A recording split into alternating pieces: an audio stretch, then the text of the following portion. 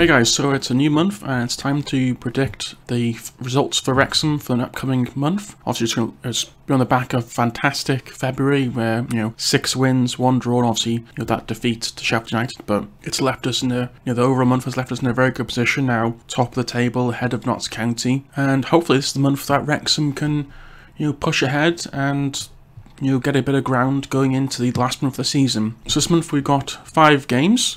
So obviously a little bit less than last month, so perhaps not so as intense. So hopefully we can get some players come back from injury. But you know, starting off the month on the fourth on BT Sport Live, uh, away at Maidenhead. Now, Maidenhead, they're a bit of a they're always a bit of a tricky, tricky opponent. Alan Devonshire has a bit of a knack for beating some of the bigger bigger teams. It, it, obviously, you'd say Wrexham informed team going to Maidenhead should really win. But then we look at Mayhem's recent fixtures, they won three in the spin. They've beaten Yeovil at home, and then won away to Halifax, then beating Dagenham at home. You know, those are, those are good performances, but then they've, the previous two games that, they did lose at Eastleigh and lost at home to Southend to obviously more quality opposition. So it could be a case of Maynard uh, you know, this season are being better against you know the teams low on the table and you know, struggling against the more struggling against the better equipped side. So in terms of this one, it's a tough ask between a draw and a win. But I, am going to say Wrexham are going to win this one. Wrexham will, will, will beat Maidenhead. I think it'll be a tough one, be a close affair, but I think we'll get the win.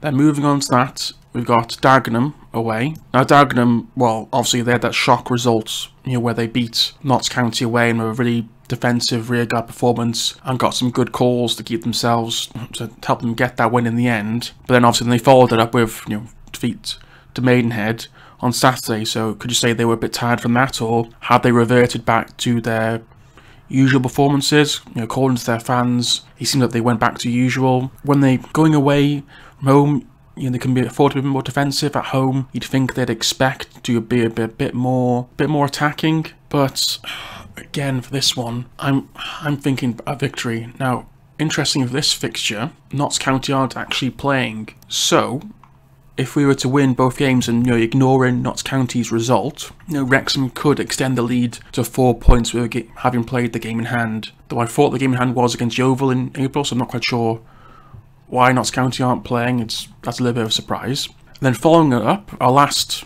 you know Saturday, the Tuesday game is home against Southend. Now, obviously, you know, Southend have very recently come through the HMRC court winding up case. They're no longer be wound up, and obviously now they're you know seventh in the table.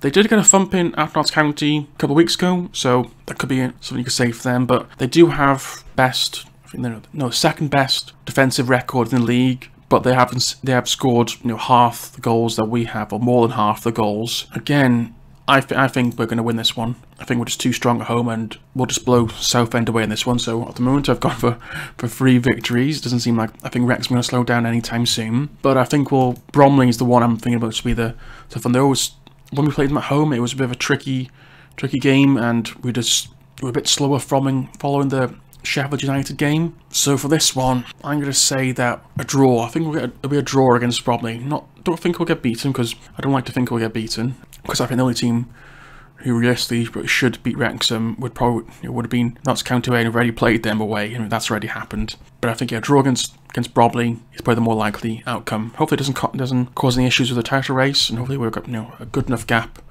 from the, from Notts County. And then moving on to the final game of the season, sorry, final game of the month, home against York. Now, York, bottom half at the moment, three points above the relegation zone. They have had you know they were sacked sacked two managers this season. Seem to be struggling with the fans as well. So I think for this one, I'm going to say we're going to we're going to win this game. We're going to beat York at home, which would then leave March with you know, four wins and a draw, which is a good return. And hopefully, we've now extended our gap over Notts County going to April and give us a little bit of a you know nice little buffer before we play them at home. But yeah, so have a quick also quick look at Notts County's fixtures and you know, what, what, who have they got, you know, this month? So a quick, you know, they, they've only got the four. No, they've got five as well. I think they're playing. They're playing on the Tuesday after on playing on a Tuesday when we're not playing. So essentially, they're playing five as well. So probably that you know. So not there's no it's not early game that we're playing against Dagenham. It isn't really a game in hand because they're also playing a sort of game in hand. So Notts County are playing Bromley away, Dorking at home, Eastleigh at home, Barnet away, and Scunthorpe at home. So in terms of those, definite wins. Dorking, Scunthorpe, I think they'll definitely win those. Bromley, maybe a draw. Eastleigh, probably a tight win. Barnet, well, I think they were doing better before, but they seem to be struggling now. So I think I think that probably be a Notts County win again. So probably you know, so you think probably two wins and no three wins and two draws. Fingers crossed for that. So it gives us a little bit more breather to last game this last month of the season. But yeah, let, let me know what what you think.